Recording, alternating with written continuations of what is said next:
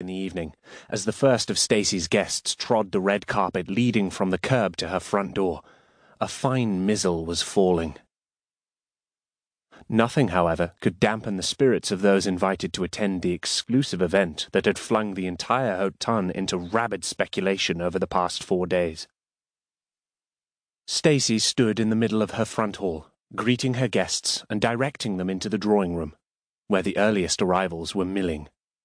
While outwardly she maintained her customary polished facade, inside she was on tenterhooks. When she'd sent out the invitations, she'd had no idea the Ton would respond with this much avidity. She'd expected Frederick's name to capture the attention and draw the required crowd, but she'd assumed the members of that crowd would display the usual level of Ton curiosity, not this. This hugely amplified anticipation as if each guest had been invited to witness some major, possibly shocking, certainly tantalizing happening. To her mind, the extreme interest bordered on the bizarre. She could only hope the entertainment they'd planned would satisfy such elevated expectations. Frederick had arrived early, bringing the three younger musicians with him. The four had taken refuge in her parlour, with Frederick declaring he had no intention of appearing until it was time for him to play. Stacie had been somewhat surprised at that, but had accepted his decision without quibble.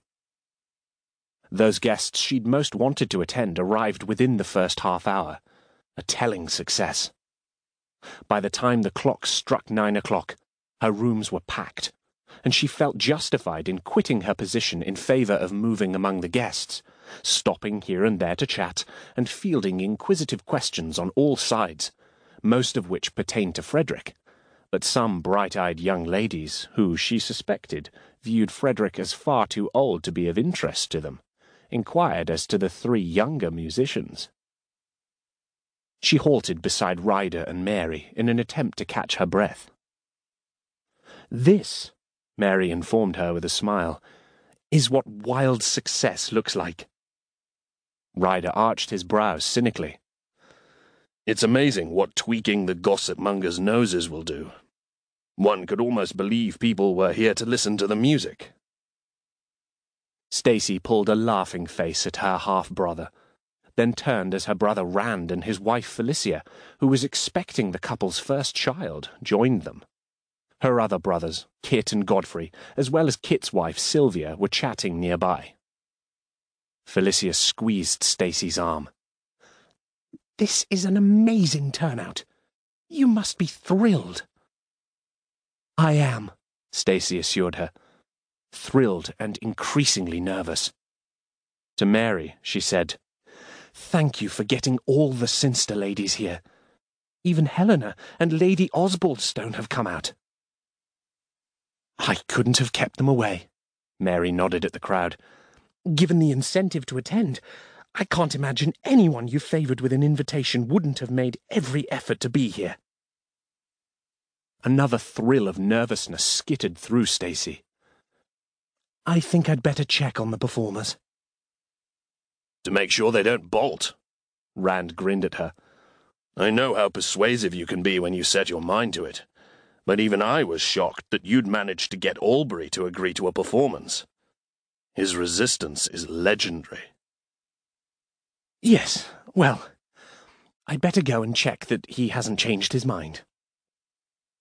Stacie laughed as she said the words, but as she wended her way through the crowd, leaving hostess duties to Ernestine, ably seconded by Mary, she found herself wondering just how deeply entrenched Frederick's refusal to play before the Ton truly was, and whether it might throw up last-minute hurdles.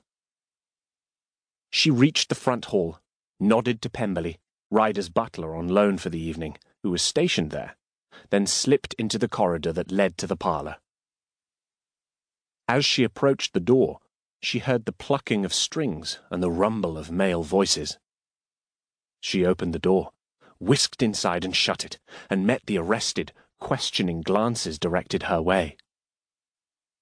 Frederick was lounging in one of the armchairs, while the three younger musicians were standing in a group by the fireplace, Philip and George with their instruments.